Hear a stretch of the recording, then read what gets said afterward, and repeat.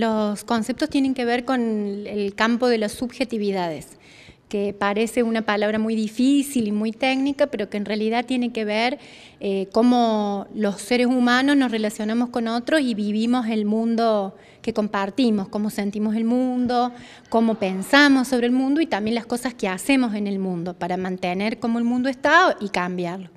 Así que la, bueno, es una experiencia muy grata porque hay mm, profesores, colegas, este, compañeros que intervienen en organizaciones sociales, en escuelas de la zona, hay alumnos de Tucumán, eh, otros de Santiago del Estero, así que bueno, para mí es una experiencia muy interesante. Y en este análisis también estuvo comparando la subjetividad de la identidad. Sí, el curso se inicia con una comparación de un concepto que es la identidad, que es tal vez mucho más conocido y usado en, digamos, en, las investigaciones, en las intervenciones, en el campo de las ciencias sociales y humanas. Esto tiene que ver básicamente con el uso de determinadas categorías que generan sirven para estigmatizar y sirven para disciplinar al otro desde los lugares negativos desde los cuales se los ubica. Por ejemplo, en el caso de la mujer, este, la identidad esencializada desde la cual se nos percibe y se nos construye socialmente, que nos ubica como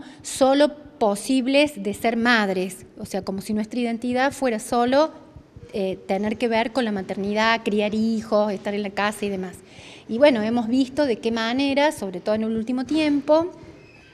estas formas esencializadas de identidad femenina terminan siendo corset para las mujeres, pero también para los varones, que cuando se enfrentan con una mujer que no responde a esos patrones, eh, bueno, suceden procesos de distinto tipo, desde violencias simbólicas hasta violencias físicas que pueden llevar a la muerte. Entonces este, este curso, aunque parezca muy abstracto y muy alejado de la realidad por su título, este, tiene mucho que ver con lo que nos pasa en la vida cotidiana, en nuestros roles profesionales, en el sentido común, en la opinión pública. Así que bueno, ese es un poco el objetivo político del curso.